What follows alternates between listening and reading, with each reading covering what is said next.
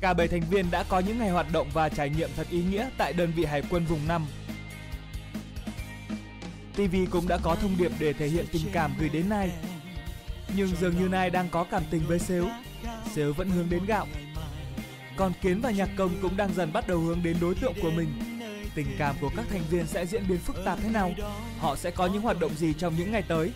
Tất cả sẽ có trong tập 170.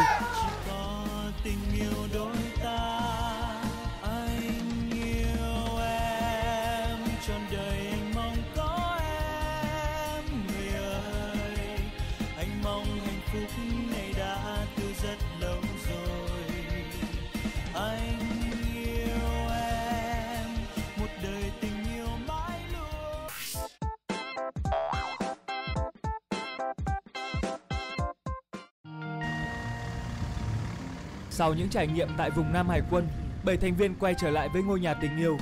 Hôm nay họ đang có một buổi sáng tuyệt vời.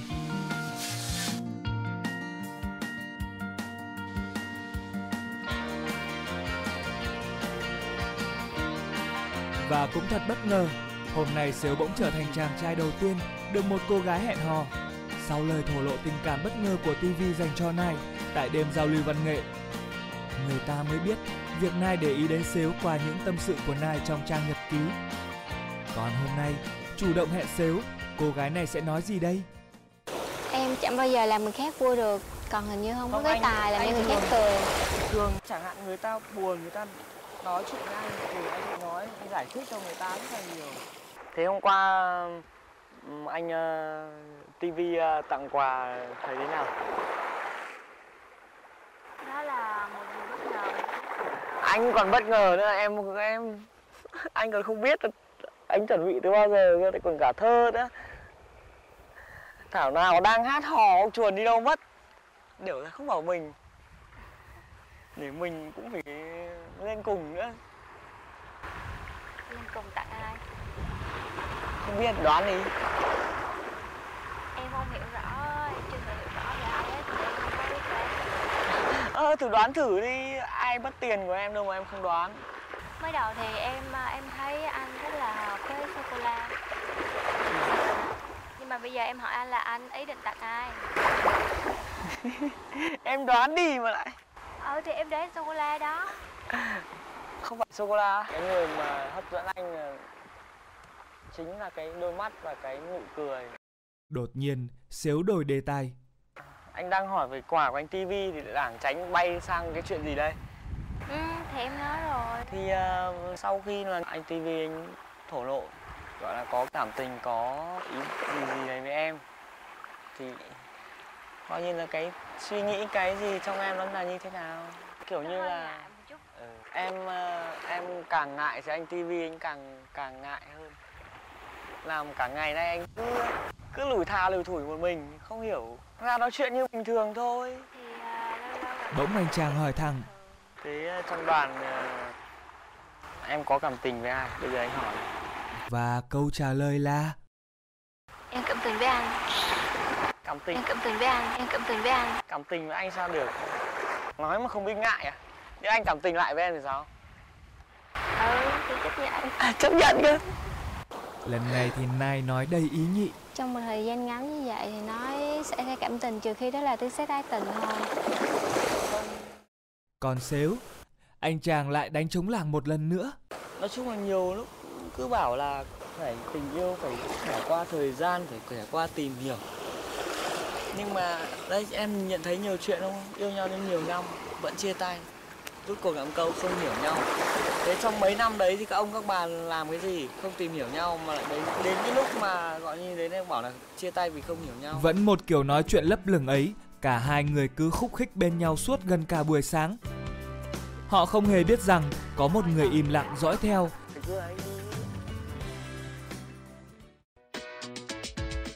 Dường như hiểu được những cảm xúc của Nai. Hôm đó, Sếu đã nghĩ ra được một cách rất hay để điều khiển các chàng trai phải tự công khai lựa chọn của mình. Đó là trò chơi. Điều anh muốn nói. Thể lệ thì rất đơn giản, họ cùng ra ngay trước cầu rất đẹp cạnh nhà. Ba cô gái sẽ đứng ở bên kia cầu. Mỗi chàng trai sẽ thể hiện điều mình muốn nói qua cử chỉ điệu bộ. Nếu cô gái nào đoán đúng thì cặp đôi đó sẽ nhận được phần thưởng đặc biệt từ những người còn lại. Hãy cùng nghe các chàng trai thổ lộ xem họ chọn ai và thông điệp của họ là gì. Gạo ơi, I love you. này, này, này. Em ờ, sẽ chọn Nai. Ờ, thông điệp em gửi tới cô ấy là anh trao hết tất cả trái tim cho em. em muốn gửi thông điệp đến Nai là Nai biển rất là đẹp Em là ngọn tình yêu của anh. Em là lửa. Sô cô la, sô cô la ơi.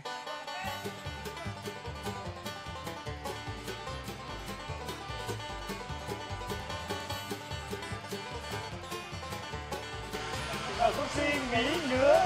Cái mừng gì mà không suy nghĩ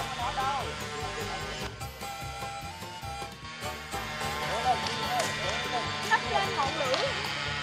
Ba mươi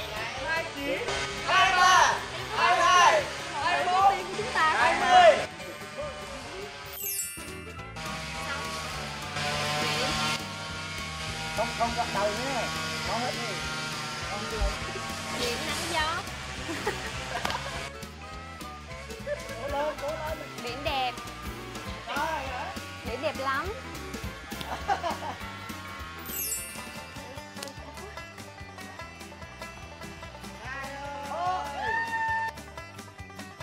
Kiếm năm cánh không phải sai rồi. Trái tim hả? Em đoán mười Không hiểu. Trái tim gì? Trái tim anh. Anh nhớ bác sang mà. Bác đi đi. Hai ba. Hai hai. Trái tim anh trao về em mươi. Ơi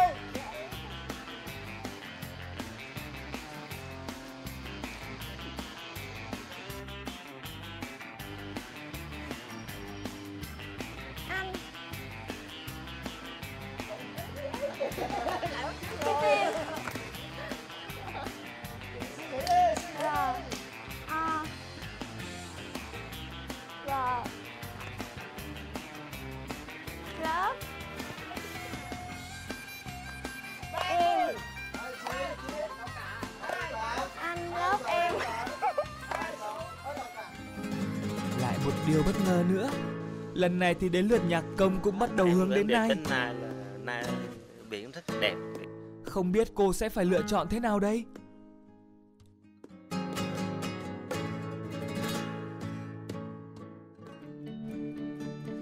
Nhưng rồi ngay buổi chiều hôm đó, Nai có cơ hội để thẩm định tình cảm của mình.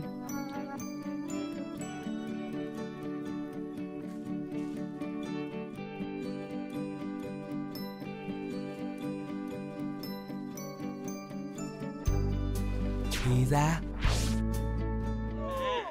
Chào anh. Như các bạn đã biết thì tối hôm qua ba cô gái của chúng ta đã có một cuộc thi Hoa hậu biển. Chúng ta đã biết ai là người chiến thắng rồi. Nhưng mà điều chúng ta chưa biết là phần thưởng dành cho người chiến thắng.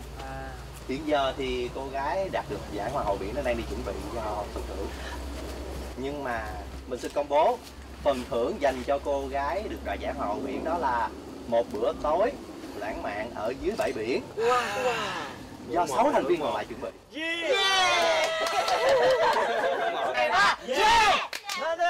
sẽ chỉ có một chàng trai được dự bữa tiệc cùng Nai. Tất cả những người đang miệt mài chuẩn bị này đều biết điều đó. Nhưng ít nhất là có hai chàng trai rất mong muốn được chọn. Giờ thì người lúng túng nhất là Nai. Chỉ được chọn một chàng trai, liệu Nai sẽ chọn ai? Ra khơi sớm anh câu được hai con mực đường xá nó hơi vất vả. Xúc động khi mà được ờ, dắt tay hoa hậu biển để đi đoạn rất là dài. Em thấy biển rất là đẹp giống như em. Cảm ơn anh thì anh thì ờ, cũng như mọi người à, cũng góp chút công sức nhỏ vào khi khi khi cái việc hôm nay.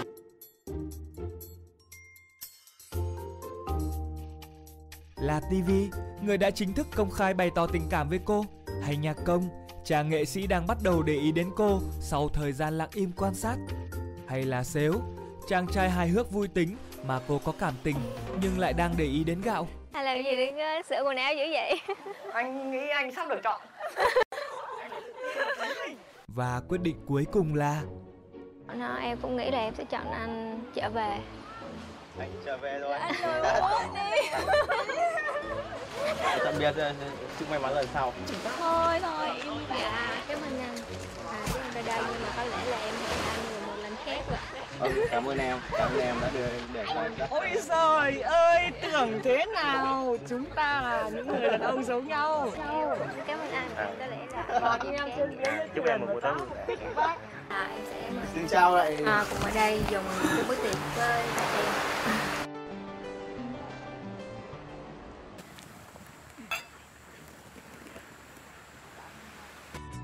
Chính là người đầu tiên khiến Nai ngại ngùng khi bất ngờ tặng một trái tim và một bài thơ trong đêm giao lưu hôm trước.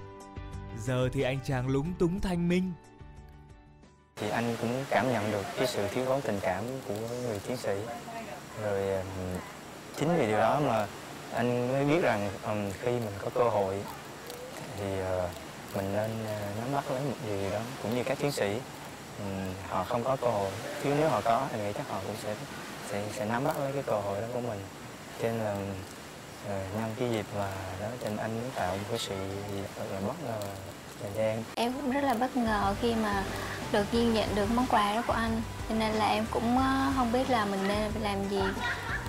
Em muốn hỏi là ừm, anh cảm thấy thích em ở điều gì? Ừm, điều ừm, thứ nhất là ngay cái đầu tiên thì ờ, anh ờ, có cái ấn tượng nhất là về đôi mắt thôi. Em có đôi mắt buồn nhưng mà không phải là buồn như kiểu vời vợi mà buồn ở đây là nó có cái sự hiền dịu tình cảm của anh về em nó có quá vội vàng không? Ừ, anh cũng nghĩ nghĩ tới điều đó rồi. Mình thổ lộ hết tình cảm trong cái cái, cái cái khoảng thời gian ngắn như vậy có thể nói là nó, nó, nó không có hợp lý cho lắm. Nhưng mà bởi vì cái khoảng thời gian mà mà, anh có thể được ở bên em không nhiều. Cho nên anh sẽ cố gắng tìm hiểu cho hết. Rồi khi có cơ hội thì anh phải bày tỏ cái, cái tình cảm của mình ra.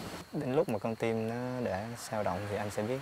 Anh đã, đã cũng đã từng lần à, tan vỡ tình yêu rồi đã lâu lắm rồi anh cũng chưa có lại cái cảm giác cảm giác như mà anh yêu lần đầu nó nó hồi hộp lắm. Nhưng mà khi mà em đứng nói chuyện với một ai đó thì mình cảm thấy khó chịu trong lòng. Không biết có phải vì những lời tâm sự của TV hay không, nhưng dường như này vẫn đang cân nhắc một điều gì đó. Dạ. Đột nhiên, dạ cho em xin cục đá Đá nữa cơ ạ em có một ly nước lọc nhưng em không có đá À thế Thế à, anh nước anh à, ly này có đá chưa Này chưa thấy À, nước nóng này có phải hâm không ạ? à, không không cần À, rồi. thế được rồi anh, anh cho sao anh anh hình như anh mới ờ, xin việc mà mới làm ở đây không Không thì em cũng vào đây đang thực tập anh ạ à thế à? ở đây đây Vâng em cảm ơn anh ạ. Thế Ôi, sao tay chị đẹp thế nhỉ? Chị có người yêu chưa? chưa À, đang à, đang tìm người à. yêu đấy anh à, Vâng, thôi em được rồi em cảm ơn anh nhiều. Đắn đo mãi, thì ra điều Nai muốn nói là đây. thật ra hôm nay khi mà em chọn anh ở lại bữa tiệc này là vì ờ, muốn cảm ơn anh vì những gì anh đã làm cho em và những tình cảm của anh dành cho em. À, em ngồi chờ anh tí nha. Anh sẽ gọi mọi người xuống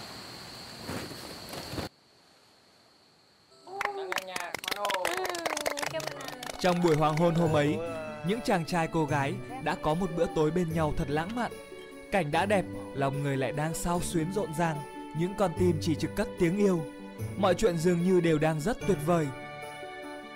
Nhưng người ta đã nói, tình yêu muôn đời là vĩnh cửu, chỉ có những người yêu nhau là sẽ thay đổi. Liệu những chuyện gì sẽ xảy ra tiếp đây?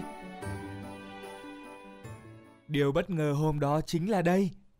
Ngày đêm hôm đó, chàng nhạc công vốn rất rụt rè, ít nói, hôm nay lại đang có một cuộc nói chuyện rất dài với Nai. nói chuyện với em thì anh rất là thích à, tại vì em em nó có một cái gì để làm anh yên tâm thì em không có làm người ta vui được chỉ có À. cái là có thể giải bày công chuyện không em làm anh rất là vui nó không phải là cái gì đó mà chọc tức người ta mắc cười em biết không mà cái kiểu mà làm cho người ta phải suy nghĩ về một cái gì đó nó nó nó, nó bình yên hơn xíu à. À. thì bây giờ em cũng thích cuộc sống trầm lặng À. bình yên mà à. không thích ồn ào chứ anh à, thì không không có thích bộc lộ những cái gì nó, nó một cách nói chung là nó nhanh vội quá nóng vội quá ví dụ như trong ngày đầu anh gặp cả ba người à, thì có thể là anh có cảm tình nhớ với một ai đó tất nhiên là điều đó sẽ có rồi à. chứ không phải là không có nhưng mà tình cảm yêu đương ngay lúc đầu thì không có đúng không Giờ thì như nhạc công đang nói chuyện với chính mình. anh thích là mỗi gì đó hồn nhiên thôi nói chung là không có gì là nó đặt áp lực cho anh và cho em ấy không thích khi mình chưa là người yêu thì mình là hai người bạn và có thể là khi mình là người yêu rồi vẫn là người yêu. Mình có thể mình đi xa hơn nữa thì mình lại đến một cái cảnh giới nào khác nữa nhưng mà khi mình ngồi nói chuyện nhau mình vẫn hai người bạn. Thường á, tình yêu nó đẹp nó bắt nguồn từ một cái một tình bạn rất là, là, là cao quý. Anh chàng bỗng hỏi rất nhẹ nhàng khi mà em đi hành trình này em muốn nghĩ là em sẽ tìm được một nửa trái tim còn lại của mình. Thực sự Ừ. khi mà một người yêu lâu bền đó thì mình phải trải qua rất là nhiều chuyện. Trước hết mình phải là những người bạn rất là hiểu nhau đúng rồi. sẽ thích hợp với nhau. Đúng rồi. Sau cuộc nói chuyện hôm đó, chàng nghệ sĩ đã kịp viết ra những câu thơ này tặng Nai. Sóng vẫn ngàn đời